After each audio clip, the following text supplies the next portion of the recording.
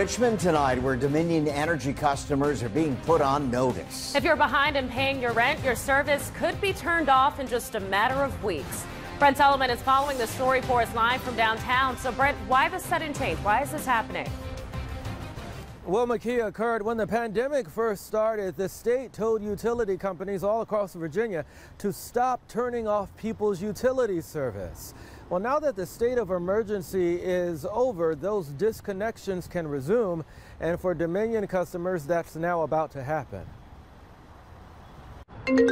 If you get a phone call from Dominion Energy, don't be alarmed. The company is sending out robocalls. The person on the other line will say this, quote, "The electric account associated with this telephone number has a past due balance.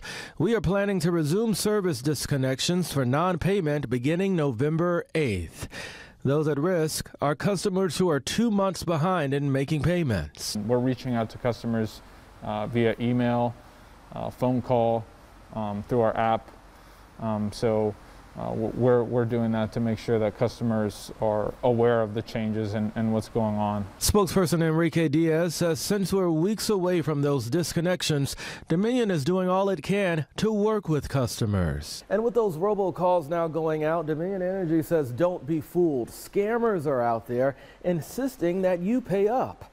Here's how you know the difference. Dominion Energy is never going to call anybody uh, threatening uh, a disconnect like that, saying if you don't pay right now, if you don't go get your debit card and give us the numbers right now, we're going to disconnect you. The calls they are making will be a warning, informing you to contact them to get caught up. We're not worried about late fees at this time. That's something we've waived. Again, we're just trying to make sure people get on these payment plans. That way, everybody, you know, has the power on.